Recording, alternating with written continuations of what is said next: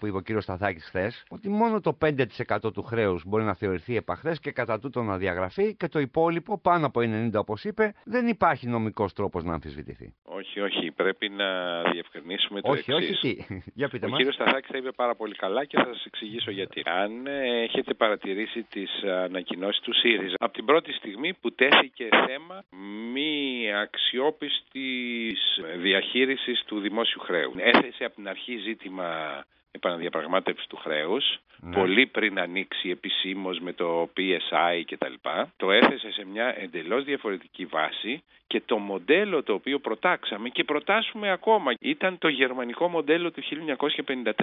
Εάν μπει σε Δεν νομική. πάει εκεί. Μισό λεπτάκι. Εάν πάει σε νομική αντιπαράθεση, εκεί ο κύριος Σταθάκης λέει ότι για το πάνω από 90% του χρέους, επειδή είναι ομολογιακό, δεν υπάρχει νομική βάση αμφισβήτησής του. Δηλαδή σε περίπτωση αντιδικίας, εκεί είναι το κρίσιμο. Σε περίπτωση συμφωνίας, ωραία, όλα Τα καλά είναι. πράγματα είναι. πιο πολύπλοκα. Εμείς αρχίζουμε με αυτό που σας είπα, που είναι Ναι. το οικονομικό επιχείρημα και το είναι το, και το βασικό επιχείρημα. Αρχίζουμε από το ότι το χρέος δεν είναι βιώσιμο και όταν ένα χρέος είναι- δεν είναι βιώσιμο πρέπει να γίνει βιώσιμο. Το χρέος μειώνεται όπως ξέρετε από οικονομική άποψη είτε με τον πληθωρισμό όπως ήταν οι συνθήκες αμέσως μετά τον δεύτερο Σωστά. παγκόσμιο πόλεμο, πράγμα που δεν μπορεί να συμβεί, Μμμ.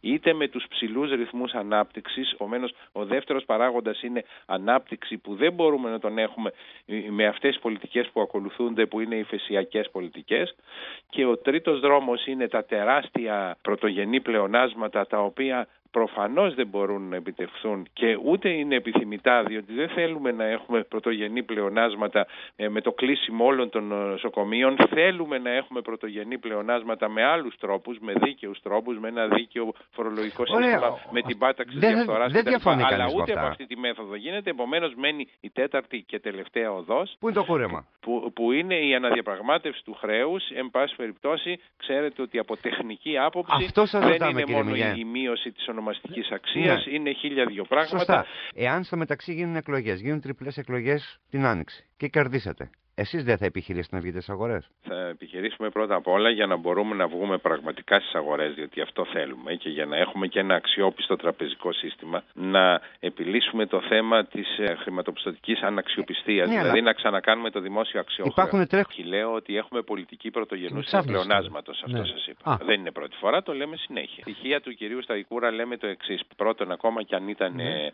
πρωτογενές πλεόνασμα, εμείς δεν δίνουμε συγχαρητήρια στην κυβέρνηση, διότι ό,τι πέτυχε από δημοσιονομική προσαρμογή, το πέτυχε ματώνοντας την πλειοψηφία της κοινωνίας. Ενώ υπήρχαν άλλες μέθοδοι. Το δεύτερο που λέμε είναι ότι αυτή τη στιγμή το δημόσιο χρωστάει πάρα πολλά χρήματα ε, στον ιδιωτικό τομέα, ας το πούμε έτσι με την ευρεία έννοια. Ναι. Χρωστάει στους πολίτες Χρήματα από, που δεν επι- έχει επιστρέψει. από επιστροφές φόρων, δηλαδή πλήρωσε 6,2 δις που χρωστούσε, Μμμ. αλλά επειδή δημιούργησε νέα χρέη στους πολίτες, που, με επους- επιστροφές φόρων, προμηθευτές κτλ, χρωστάει 5,8 Ωραία. δις. Ε, επειδή μπορεί σε τρει-τέσσερι μήνες να είστε κυβέρνηση.